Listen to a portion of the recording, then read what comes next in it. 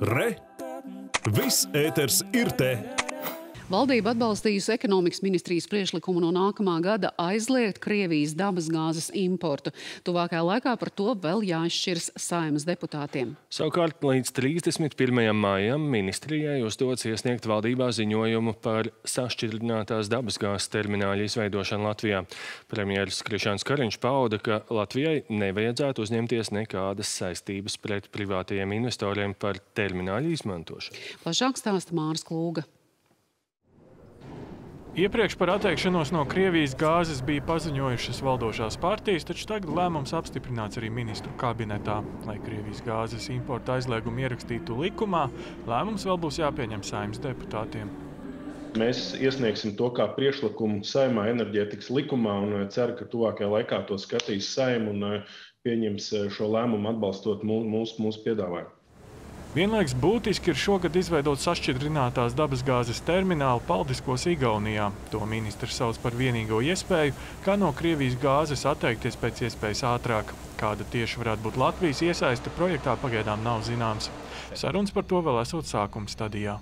Tas, kas mums ir eh, svarīgi, ka mēs eh, no, no šī termināla vajadzības gadījumā varam iegūt eh, nepieciešamās jaudas, un, un, un lai nākamajā sezonā jau spētu uh, nodrošināties un būtu, būtu eh, teiktu, arī alternatīva klaipēdas terminālam, ja, ja tur eh, tās jaudas ir par mazu.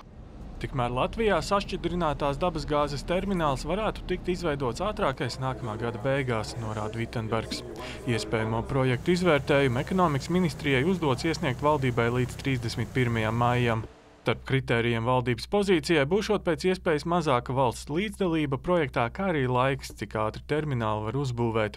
Premjerministrs Krišjāns Kariņš pauda, ka viņa prāt valstī nevajadzētu garantēt topošā termināļa veidotājiem kādas garantijas par piegāžu apjomiem. Kariņš uzskata, ka Baltijas tirgs būs gana interesants dabasgāzes operatoriem, līdz ko Baltijas valstis un iespējams arī Somija atteiksies no Krievijas gāzes.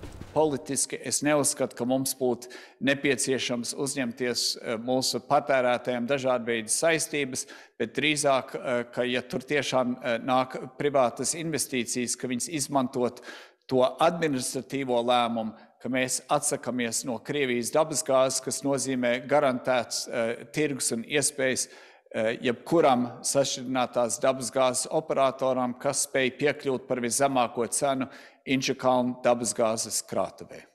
Šobrīd visvairāk iestrāžu ir termināļa izveidējas kultē. Pagājušajā nedēļā intervijā Latvijas televīzijai projekta pārstāvis Uldis Salmiņš pieļāva, ka investoriem ar Latvijas atteikšanos no Krievijas gāzes varētu būt par maz, jo kāda no nākamajām valdībām šādu lēmumu varētu arī mainīt.